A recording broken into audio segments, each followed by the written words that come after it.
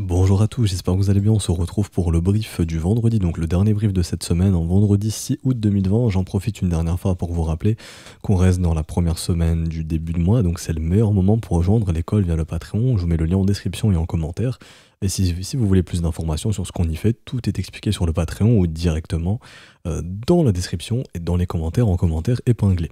Alors, le sommaire du jour, Bitcoin, on va regarder à nouveau ce qui se passe, euh, bullish, bearish, ou euh, bah, on va voir un petit peu, on va parler d'Ether aussi. donc juste ici, et je vais vous parler également d'IOST. Donc dans Ether, j'en parlerai ici. Et je vous parlerai également d'IOST que je trouve assez intéressant, franchement. Il est même intéressant contre Bitcoin, donc ça pourrait faire de lui un asset assez fort. Donc c'est pour ça que je vais vous en parler aujourd'hui. Alors le Bitcoin, techniquement, je vais pas aller sur cette charte ici, je vais aller sur cette charte. Donc on arrive, on retourne sur le haut du range, donc ça c'est le haut du range. Est-ce que c'est le moment de créer boule ici à 100% Donc ça, tout ça, c'est le haut du range ici, hein. donc j'aurais dû faire un rectangle, c'est pas grave, donc là c'est bien le haut du range. On arrive également sur le premier arrêt, niveau très important à casser si on veut revoir un Bitcoin se diriger vers des niveaux super, donc 47, 50, etc. etc. Et on est également sur un niveau de rejet très puissant qui est la trendline, hein, donc qui a initié justement le mouvement baissier, donc la structure de top du marché. Donc c'est pour ça que cette trendline est très importante ici. On est venu toucher une, fois une troisième fois du coup le 1er août avec un rejet. Donc à voir si on aura cassure. C'est simple. Maintenant, techniquement, on est sur des niveaux de rejet, des niveaux très importants de résistance. Tant que vous ne voyez, enfin, tant qu'on ne perd pas le premier arrêt bear au boule, donc je m'explique. Ici, Tant qu'on ne perd pas les 7000 en gros, euh, pardon les 7000, ça va être compliqué. Grosso modo les 37 300 dollars ici, donc le premier arrêt qu'on est venu chercher une fois, deux fois, une troisième fois hier avec un nouveau rebond dessus qui est très défendu, il n'y a aucune raison de penser que ce marché va retourner voir le bas de son range. Ok. Donc grosso modo, si on casse ici, c'est bien, on casse le haut du range, on casse la trendline, ok. Et donc derrière, de grosses probabilités de venir à minima chercher les 47 000 dollars. On le voit ici au niveau du volume profile il n'y a pas grand chose. Ici, vraiment, le volume profile est très creux, il y a très peu de business, donc ça peut aller très vite. Surtout sur un short squeeze, ça peut aller très vite. On voit que le prochain niveau résistant est le niveau des 46 800, 47 000 dollars. Ok? Par contre, si ici on voit un rejet, ok? Donc je m'explique, on voit un rejet de marché, c'est-à-dire que hop, on commence à faire un M-top ici, on perdra le premier arrêt, à ce moment-là, grosse probabilité de venir chercher le bas du range. Et également, on avait vu en termes de liquidation, si on revient sur le bas du range, si des wells veulent acheter ces liquidations, on voit qu'il y en a un paquet dans les 30 000, 33 000 et 36 000. Donc en gros, ce sera les objectifs. Ok. Maintenant, si le marché techniquement ne se retourne pas, parce que jusqu'à preuve du contraire, ici, en même en daily, on est sur un momentum qui est haussier, c'est-à-dire que on a les gros W, les divergences. Pour l'instant, il n'y a aucun signe de retournement en daily, je dis bien en daily. Il n'y a aucune raison de penser qu'on va aller sous les 37 000 300, pour, enfin pas aucune raison de penser qu'on va aller sur 37 300, mais tant que justement on va pas sous les 37 300, il n'y a aucune raison de penser qu'on va retourner vers les 33 000, 30 000 dollars. Et donc à ce moment-là, le marché a la possibilité, en tout cas le Bitcoin a la possibilité d'essayer de casser la trendline et de casser le haut du range. Et donc à ce moment-là, ça je peux supprimer, je vais remettre la ligne de coup, on sait que le marché se dirigera probablement vers la ligne de coup du précédent M, donc les 47 000 dollars en termes de liquidation short. Si on est à la chasse aux vendeurs, on voit qu'on a un pic évident dans les 45 000, 46 et 51 000 dollars. Ok, donc ça, ce seront des objectifs à venir chercher, même également ici un peu avant les 54 000 dollars. Donc vraiment, c'est pas plus compliqué que ça. Vraiment, il n'y a rien de plus à dire. On est sur des niveaux de rejet évidents. Si le marché les casse, c'est super positif et donc à ce moment-là, allons voir plus haut tout simplement. En revanche, si on rejette et qu'on commence à voir ça, vous savez qu'à ce moment-là, les liquidations qui nous attendent plus bas dans les 30 000 et 33 000 sont des objectifs possibles et cohérents.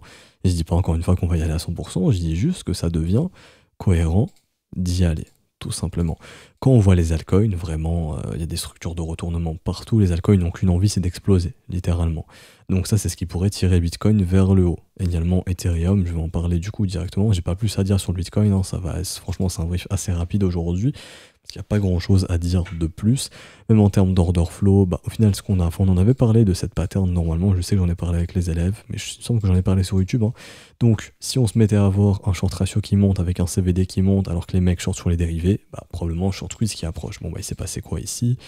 Le, enfin, le short ratio qui augmente, le CVD qui augmente. Donc là, l'achat est vraiment réel sur le spot, comparé à ici. là, on a vraiment eu de l'achat sur le spot massif, et les gens sont venus shorter sur la montée. Donc c'est ce qui pourrait alimenter encore une hausse.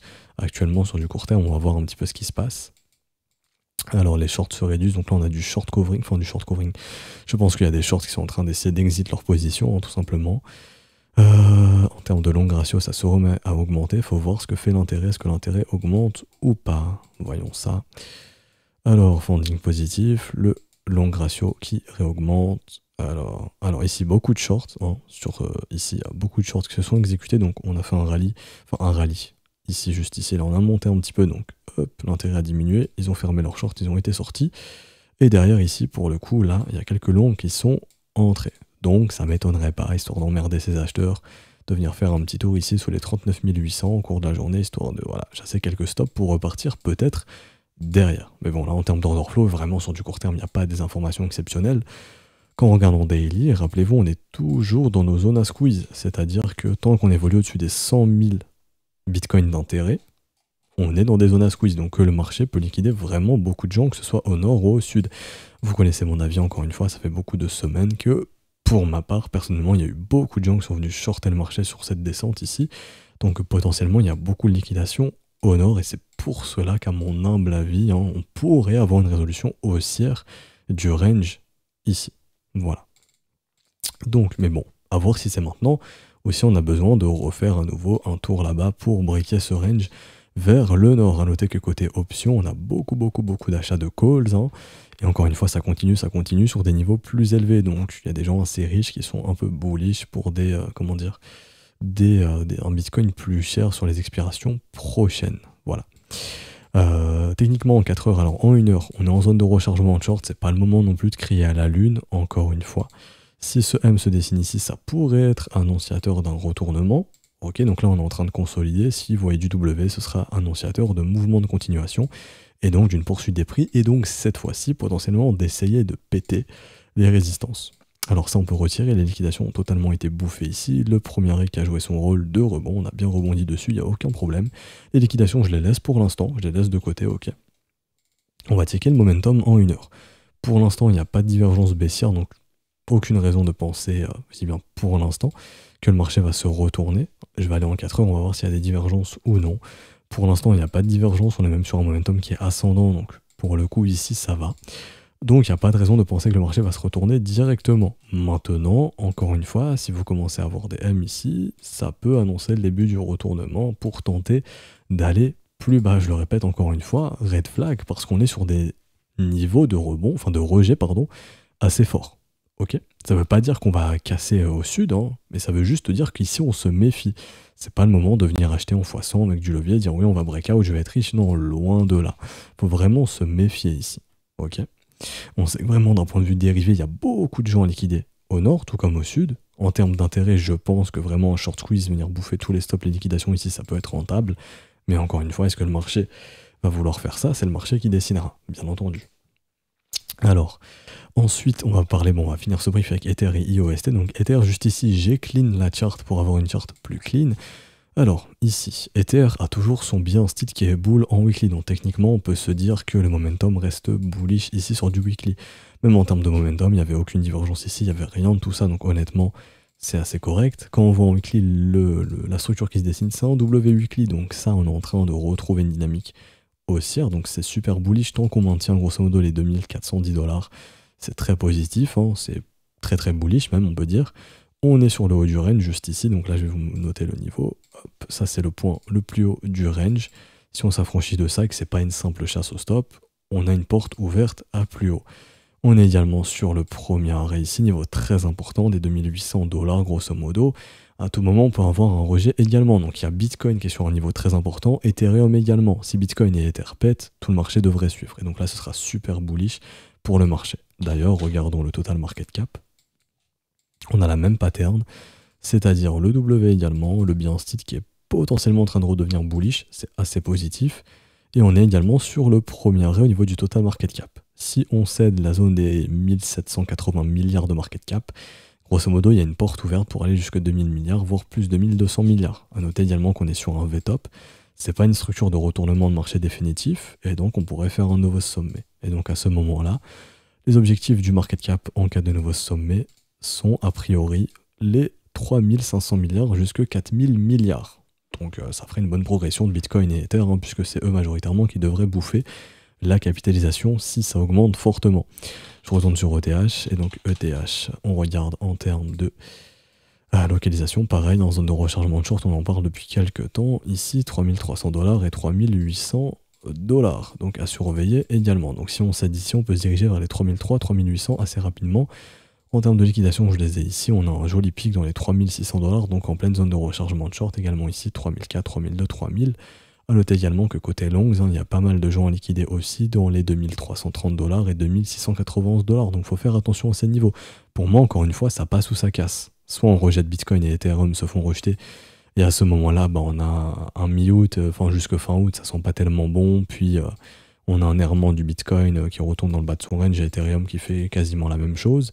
Ou alors ça casse, et à ce moment-là, on a un mois d'août qui est super beau. Et donc on termine le mois d'août probablement à 50 000 sur le Bitcoin, puisque c'est là qu'on a les niveaux d'intérêt sur les options. 27 hein. août, on regarde, les gros niveaux d'intérêt se trouvent sur les 50 000 sur le Bitcoin côté calls, et sur Ethereum, ça doit être sensiblement la même chose, hein. enfin, équivalent, voilà, 3000 dollars. Donc si 3000 dollars, voire même ici, sait-on jamais, 4000 dollars si on revient faire euh, retester la résistance. Donc voilà, le bilan de, ce brief, c'est on est sur les niveaux très très importants et on a identifié les niveaux qu'il faudrait casser en cas de retournement. Et vous savez ce qu'il faut faire. Si on fait ça, c'est boule. Si on fait ça, c'est bear et retour bas du range tout simplement. Donc regardez attentivement ce qui se passera au niveau des 37 000 dollars grosso modo. Et si on déborde les 42 700 dollars, ça commence à être fortement positif. Ce que j'ai noté, et ça faut s'en méfier également, euh, c'est pas ici. Alors, où est-ce que j'ai ma charte? Je me suis perdu. Euh, ok, c'est ici. Ça, on s'en fout pour l'instant. Voilà. Mince. Ici, c'est le dollar index. Voilà, donc lui, le dollar index, pour le moment, a réussi à maintenir son premier arrêt également. Ça pourrait causer un peu de tort au Bitcoin, mais surtout, c'est l'action Coinbase. L'action Coinbase, en pré-market, elle ouvre à 239 dollars. C'est-à-dire que Wall Street pourrait être bear aujourd'hui sur l'action Coinbase. Donc, il pourrait être bear aujourd'hui sur le Bitcoin et en ce vendredi, prendre un peu de profit sur Bitcoin à Wall Street, tout simplement. Ok, donc méfiez-vous ici vraiment de. C'est c'est un peu, un peu bizarre vraiment après cette journée de hausse de voir le pré-market à 239. Encore une fois, le pré-market peut changer. Encore une fois, on peut euh, se retrouver à 260 en fin de journée, il n'y a aucun problème, la journée n'est pas encore passée, on n'a pas encore ouvert ici sur l'action Coinbase, mais de voir déjà qu'on on ouvre à 239, enfin qu'en pré-market on est à 239, faut se méfier ici, Wall Street pourrait être vert sur le Bitcoin aujourd'hui, donc on pourrait avoir un petit retracement de vendredi, alors que par exemple sur Mara ils sont boules, et sur, euh, sur Riot, ils sont boules également. Donc là, c'est un peu bizarre, honnêtement. C'est un peu bizarre, mais bon, c'est pas moi qui fais les marchés, on verra bien ce qu'il en est. Et donc, pour finir ce brief, IOST qui est pour moi le plus intéressant, parce que Bitcoin, ça reste du range, Ethereum, ça reste du range, donc on s'en fout complètement. Ce qui est vraiment intéressant, c'est les altcoins qui sont un peu des cocottes minutes prêtes à exploser. Hein. On voit ça sur Yobi, on voit ça sur d'autres assets également. Alors, IOST, bon, encore une fois, où se trouve mon marché En zone de rechargement. Donc, est-ce que j'ai une zone, une localisation pardon, intéressante? Oui, c'est là où je peux envisager mon investissement. Également, WClick est en train de se former, c'est une structure de retournement, ok, qui nous invite à penser qu'un retracement se prépare. On est en train de confirmer ça. Cette semaine, si on clôture ainsi, c'est confirmé. Et donc là, il y a un signal d'investissement qui est donné aux environs des 2 centimes. Également, hop, euh, je pense qu'on est de l'autre côté de la trendline, mais ça, je vais vérifier, peut-être pas. Alors, yes, malheureusement, le W ne se fait pas de l'autre côté. Mais on est de l'autre côté de la trendline, c'est un premier bon signe. Ici, en termes d'OBV, l'OBV est croissant, donc les capitaux ne sont pas énormément sortis sur cette baisse. Donc ça, c'est intéressant. Pardon.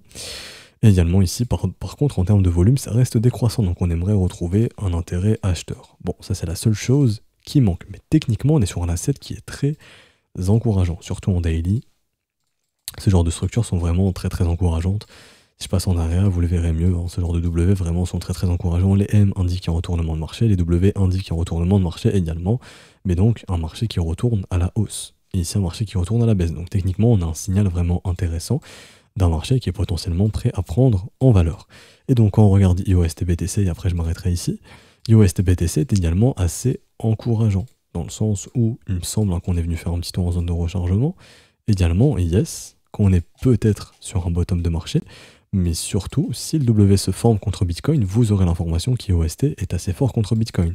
Donc une cassure, cassure ici des 76 SAT serait très positif et donc permettrait à IOST d'être fort contre le Bitcoin. C'est-à-dire que même si le Bitcoin baisse, IOST pourrait, consolider contre le dollar tout simplement.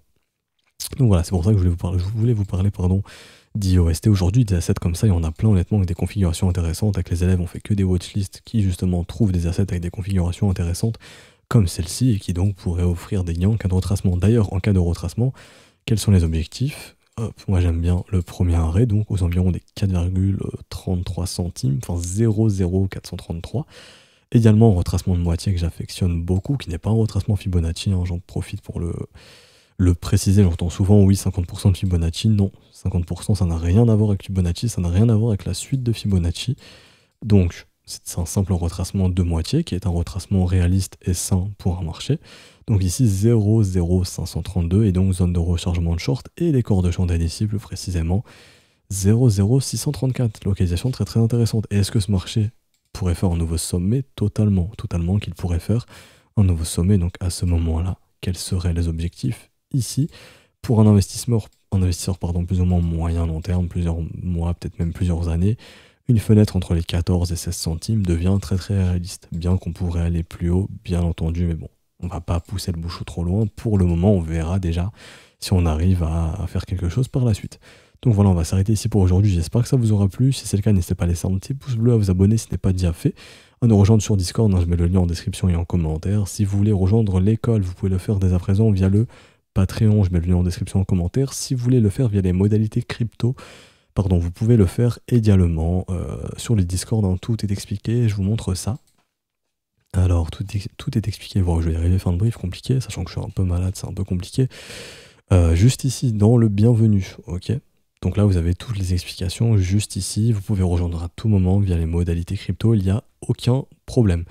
Je vous souhaite une bonne journée, un bon week-end, reposez-vous bien, on se retrouve lundi pour un prochain brief, ciao ciao